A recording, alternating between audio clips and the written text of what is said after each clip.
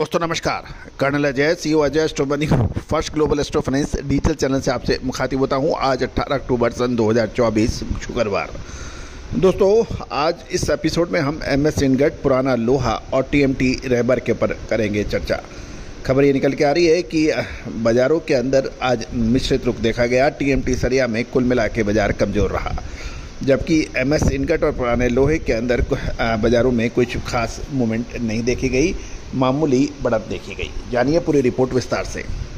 दोस्तों आज 18 अक्टूबर सन 2024 खबर निकल के आ रही है कि मंडी गोविंदगढ़ में इनगट के भाव समान रहे कोई पर, कोई परिवर्तन नहीं देखा गया। चौवालीस हज़ार दो सौ के भाव शाम के पाँच बजे तक थे। कोतवार के अंदर बयालीस छः सौ कोई चेंज नहीं। गाजियाबाद के अंदर मामूली तेज़ी 200 की तेज़ी होकर तियालीस हज़ार दो सौ। कानपुर के अंदर बयालीस पाँच सौ और मुजफ्फरनगर में तियालीस हज़ार दो सौ के रहे यहाँ पे सौ रुपये की तेज़ी थी।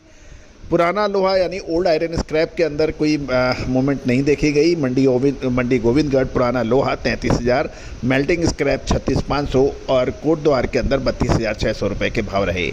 अब हम टीएमटी के ऊपर बात करते हैं। रेबर के अंदर, मंडी गोविंदगढ़ के अंदर भरतम उनचास हज़ार एक सौ, मंडी गोविंदगढ़ डाबा इकसठ हज़ार दो सौ, पंजाब में अम्बा शक्ति के भाव में चौवन हज़ार के भाव रहे। दुर्गापुर दुर्गा, दुर्गपुर में जय कपीश के भाव तियालीस तीन सौ के रहे। कोलकाता में जय कपीश तियालीस तीन सौ, गोवा अम्बा शक्ति उनचास हज़ार तीन सौ। जालना के अंदर पचास पाँच सौ के भाव रहे, यहाँ पे तेज़ी तेज देखी गई।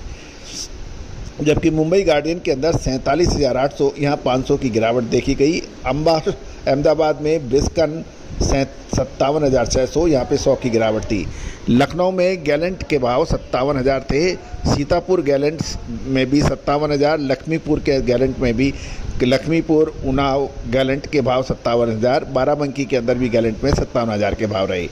मुजफ्फरनगर सेंचुरी के भाव सैंतीस सैंतालीस हज़ार के रहे, दो सौ की गिरावट। कानपुर के अंदर गैलेंट सत्तावन हज़ार, गाज़ियाबाद अट्ठाईस हज़ार पाँच सौ, यहाँ पर सौ की गिरावट थी। ध्यान देने वाली बात है, सिर्फ़ आज जो मूवमेंट रही, जालना के अंदर टीएमटी सरिया के अंदर अच्छी तेज़ी थी, बाकी लगभग सभी जगह टीएमटी सरिया के अंदर गिरावट थी। पुराना लोहा बिल्कुल कोई परिवर्तित रहा और एम एस के अंदर भी कोई खास मूवमेंट नहीं रही। दोस्तों, आने वाले दो से तीन सप्ताह कुछ विशेष मूवमेंट की संभावना बन रही है। क्या ये तेज़ी के होंगे या मंदी के लिए संपर्क कर सकते हैं विशेष रिसर्च रिपोर्ट के लिए। All the very best good luck happy trading